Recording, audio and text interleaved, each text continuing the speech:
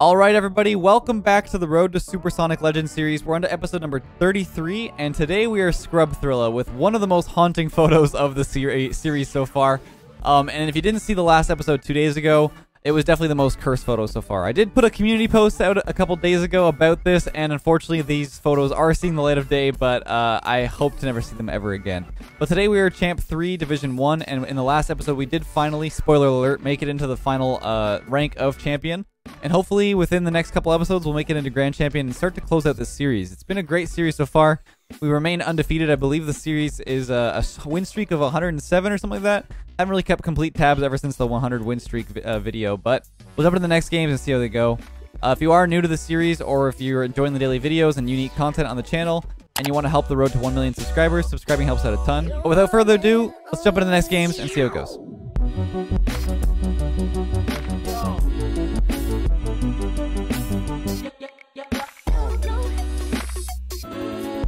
All right, we've got Aquadome. We've actually got a, uh, a Amsterdam and Big City Slams are together, and the guy's 1294, but he was last season, he was season one grand champion, so interesting, interesting. I don't know if that's like a bit of a, a carry or what. Let's see if my teammate goes back.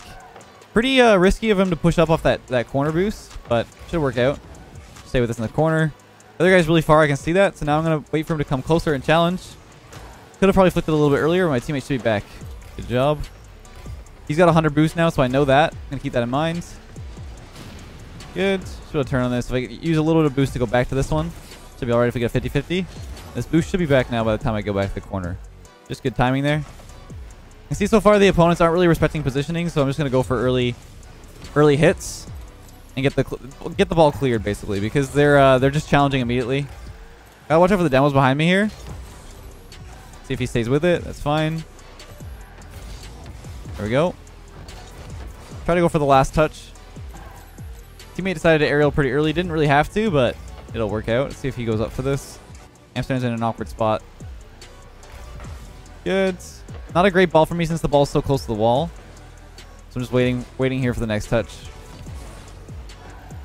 Don't know if my teammate's going to go up for that, so I was a little bit worried. But now it's a free shot. Great placement. Nice one. So right there, I could have won again. Um, and once again, this is great. This is only champion three, so I don't want to go for too many crazy things. I'm playing pretty slow just to even it out. But there, I probably could have shot that. I've set it up pretty well, and I could definitely make an angle. Um, it's definitely better if your teammate comes in, but you just don't. You got to be a little bit worried that he might not go, or that he might double commit with you if you go. So things to keep in mind when you go for certain things. Right here, the one guy backed off, so I'm just gonna make a pop really high off the backboard. You see that um, in that situation, a shot towards target could have uh, could have worked but he's definitely going to save that with the reaction time. So it's better to me for me to get that immediate flick. And you can see Amsterdam then wastes his positioning and boost by jumping up. And we get so much better pressure just from that one touch. So many options you could go for. You go for a flick there, a dribble. Um, my teammate's not going for the uh, the cheat. So I've talked about this in the last couple episodes. If my teammate's not going to cheat up, I do need to change up my kickoff. Because I'm usually pretty good at... Uh, I should know what for that, by the way. Um, I'm usually pretty good at killing the ball. Like, really, really good at it. It's one thing I've really focused on. Because I know that cheating up is definitely the better option. It's a good clear, but I can't really move up on it because the, the, opponent's going to be there. So I wait for him to catch it instead and then make a challenge. But I'm really good at... Uh, that's one thing I'll pride myself on is I'm really good at killing the kickoff. Um, even nowadays when people do fast kickoffs, I know how to like cancel that or counter it. So what I do instead... Okay, my teammate's going for the default to net. Let's see if that works out. So he, he put it to the left side. That's fine. Good demo as well. Good save. Could have shot that easily. Um, but we're up two goals. I just want to chill. Uh, but as I was saying, like, I, I know how to kill it, so... Oh, that's awkward. I know how to kill it, so I'd rather my teammate just, you know, push up slightly, like I do. Get a double 50-50 here. Should be my, uh, my teammate's ball. And we do get the, the boost steal in the back corner. Let's pop it over the one player. I think my teammate stole that corner boost. It's a bit of aggressive challenge since I just demoed, got demoed, but it was good for him to pass it back. He's going to turn. No, I don't really want to overcommit and go with him there because he might push up and then we'll be stuck on the same side. But it works out. avoid the demo if I can. Oh. so make sure to hit that off the, the sidewall. I want. I meant to hit that a little bit harder off the curve so it wouldn't be as uh, as close to the opponent that was hiding on the wall. One player uh, committed pretty early and then made a flip. He kind of passed it to me and we'll just make a shot towards target. Good save. Oh, teammate left that mid boost. Fine if he clears it. Wait for the touch here. Pop it out middle. That was not the best touch. Good save, though. See if they come and challenge. Maybe I'll pop to the right because he's trying to challenge midfield. I can get bin boost here as well. I never, I never really warm up before these uh, these games, but uh, we're getting we're getting higher up in the the series that people are starting to get a lot better and a lot faster. But they're still very manageable. This guy pushed up on the flip, so I'm just gonna pop it up once and it should be in. He really should respect the fact that this possession is ours, especially when he uh, makes a pass to me here. That pop is close enough that I can follow it. And uh, pushing up just in a straight line just basically gives me a clear idea that he's committing to this, so I just need to pop it over him. If he made it a little less obvious, I might have held onto the ball a little more, but your body language says a lot and how you challenge. And that's a lot of uh, how you play the game is trying to read the body language of the opponents and also changing your body language to confuse them. You want to make it as clear as possible for your teammates to know what you're doing, but as as as uh, not clear or unclear as possible for the opponents to know what you're doing. So that's a hard that's a hard thing, and that's like a biggest thing to learn is to know how to help your teammates understand what's happening without you know giving away your your hand. So even there when I was making that pass in the front, I was trying to uh, make it unclear that I was making a pass. But my teammate has pretty good language to understand that I'm going around the ball to give that pass in, so he's waiting in midfield. And uh, this is a pretty clear win here. The guys ended up leaving. I don't think we like did anything too crazy. Just made a few shots towards target. And honest, my teammate did a lot better than me points-wise. So well played to him. And uh, we'll move on to the next game. So we got MC. We actually got the same teammate again. We got MCC Mitchell again. So well played to him. He was he was really good last game. Let's get into this one and see how it goes. Really consistent. As I say that, he left the net open.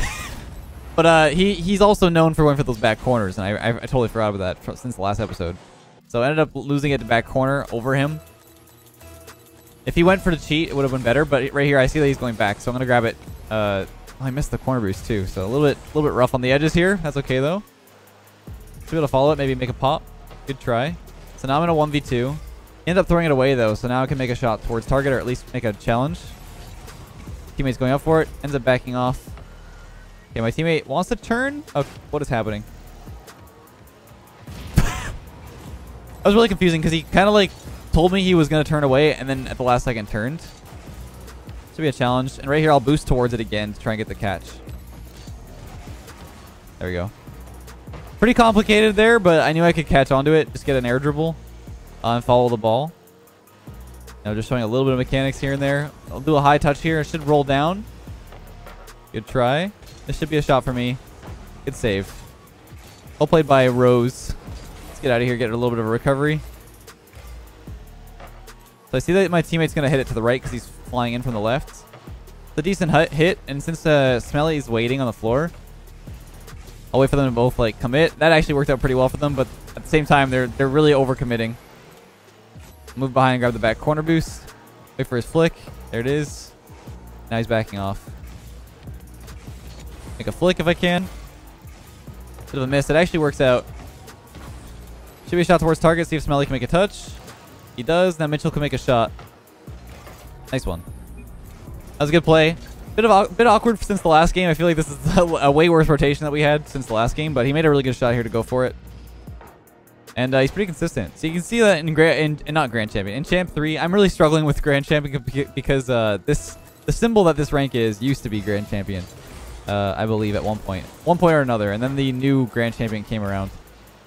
Which I now think, is, I believe is red now. It's not even the same color. But uh, you can see in this rank, there's people that are actually like really consistent with mechanics. That was a bit, uh, that was a bit too much. I think. I think I hit a little bit too much sauce there. I knew I had the angle though. I hit it off the curve, uh, so it pops out middle, and I just grab the boost midway. So even if I make a miss and it bounced off that that back wall, I can recover. That was pretty. Uh, that was pretty advanced though. I should probably slow it down. Good touch by Smelly. This ball's on my end, so I knew I could touch it. I could hold, held onto it too, but I thought maybe the guy was going to challenge. Pop it off the corner. Teammate shouldn't go, which is smart of him. He's waiting. Now I can let him rotate in. Good try. The guy's still uh, recovering, but because he hits that to the uh, the side in the middle, I can go for it. I'll go for the hit first. The guy's trying to challenge. Good catch from Smelly. Oh my, oh my god. no! No! oh no. That was definitely savable. It was there. He panicked and just went for the touch. He could have went around the ball and looped wide, but he ended up own goaling. And honestly, that's like not on not on any of us. That was a good pinch from my, my teammate. Getting these crazy plays. Good cut off. Good try. Rose gonna turn on this. Right here, I wait for the touch. It wasn't the greatest cha corner challenge. Sometimes those corner challenges don't work out. It's a touch. See if he follows it. Oh. Ooh, nice one. My teammate's popping off. Great first touch. And then a good follow. Immediately jumps up. And that fake challenge right here makes him give the keep the possession in the air. If he went for the first touch right away, I think the opponent would have made a read.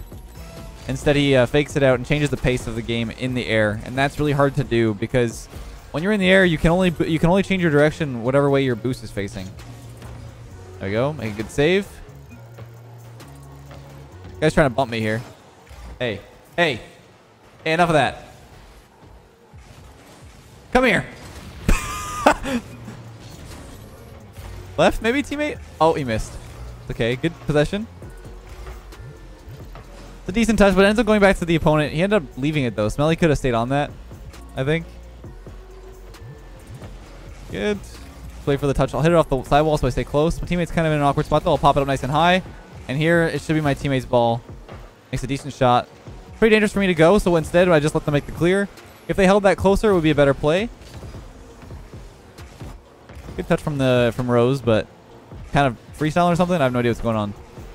Wait mid, he might chip it out. Tries to stay close. He hit it a little bit too hard, so it ends up going to the, uh, the, the opponent, but he ends up touching it again. And this could be an open shot for Rose. A little bit scary here.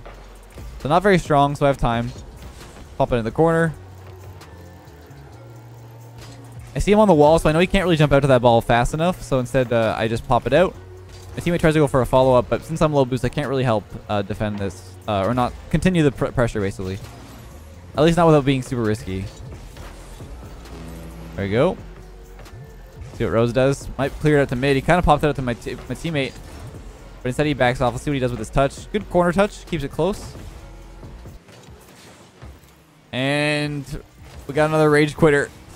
I'm so sorry, man. I think that's going to be it for that one. I need to slow it down. I think we're causing too many forfeits, which is a clear a clear sign to me that I'm doing too much. Uh, that's that's not the usual thing that you would see in Champ 3, but I don't think I did too much crazy stuff because once again, look, Mitchell's got three goals. I didn't do like a crazy amount. Obviously, like I'm setting him up pretty well in certain situations, but otherwise, like we're just kind of vibing. I think this definitely, this play in the background right here was definitely too much. I should have just let that happen and, uh, and, and, you know, follow through with the rest of the gameplay. But we move into Champ 2, I mean, Champ 3 Division 2, and we'll continue on to the next game. Cool. Well, no mercy. When someone says something like that, I just like I just turn it on, man. I'm just gonna turn it on a bit. Pass it back, nice. Pop it up off the backboard. It's gonna be really awkward for the opponent. And I'll just make a shot here. I shouldn't have said that. I should not have said that.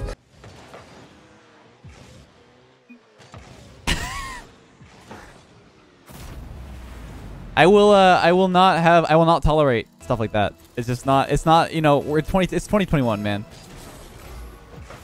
Also, that's just a pile of sticks. You're a nerd. All right, see if this pops middle. It's a decent try. That's, that's definitely scuffed freestyles. I will I will admit that. Ooh, close.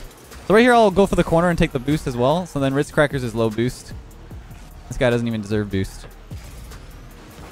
Go for 50-50. My teammate should be able to cover it. He kind of leaves the ball, though, so this could be a good shot for them. But Ritz Crackers just puts it to the corner and wastes the possession, which is fine. Don't mind that. Right here, I see that the one player is in, in the left side of the field, trying to uh, cover the left side, so I end up popping at midfield instead. There we go. Follow this up. That should be a goal. So uh, I don't really, I don't really uh, care for people, you know, just saying random stuff. Let's let's see what he says back. Me being annoyed. I didn't even. That's not even good grammar. what does he mean? I don't understand this guy. Maybe we pop over one, see what he does. Kind of popped it up pretty high. And even if he goes for a touch here, it's not a big deal because it's not on target. It's too hard for him to get it on target either. See him just make him touch. I'm just waiting for the touch. Okay, that's fine. My teammate kind of committed. I wasn't expecting that. We'll stay with this, though. This guy's a weirdo, man. If he pops it out. Good touch. Go for it again. Be a shot towards target. See if he saves it. He does. I guess he prides himself in that season 14 grand champion. Let's see what happens. Get, see what happens with my teammate here. Good challenge. Could be on. There you go. Nice. strange, strange man. Let's uh let's continue though. My teammate's doing pretty well. He's he's covering the the bases. I don't know. Just this guy just caught me off guard. Most of the time we've been pretty pretty chill. But uh, there's just sometimes you just get these random people who are just like this, who just say weird stuff during the gameplay, and this isn't even that bad, honestly. But I don't know. Let's see if he says anything back. He's kind of quiet now. Maybe because he's getting slapped. All right, let's see what happens here with this touch. Let's go for the the flip, flipper reset. Teammate can probably challenge. Good demo. I'll go for this since my teammate moved away. Now I'm going to back off since my teammate went mid. Oh, close. Teammate should be getting back behind this play. It's kind of awkward because he's in the corner.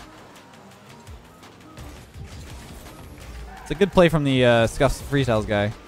Kind of cleared it for us, though.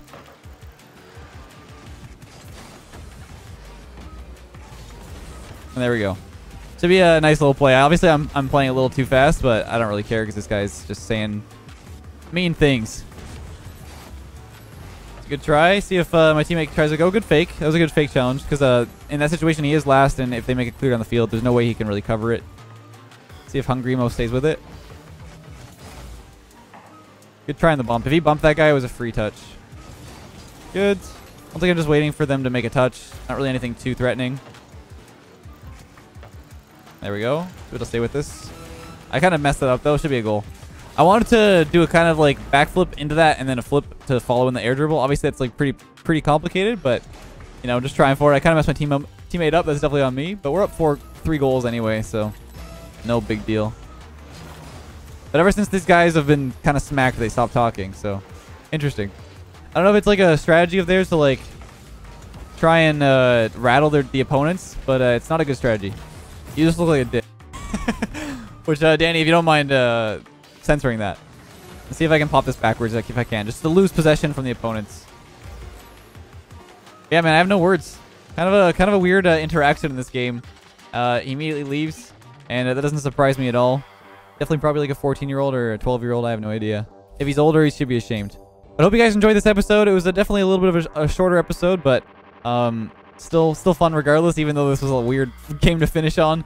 Uh, if you are enjoying the episodes, like I said, be sure to subscribe if you haven't already. We're getting super close to 1 million subscribers, and I have a new training mode that I'm going to be releasing at a 1 million, so I can't wait for it. I'm still finishing it up. Uh, I'm not talking about the rings map, by the way. The rings map is on its way, um, and that will hopefully be coming out soon. But until next time, guys, have a great day, and I'll catch you guys in the next one.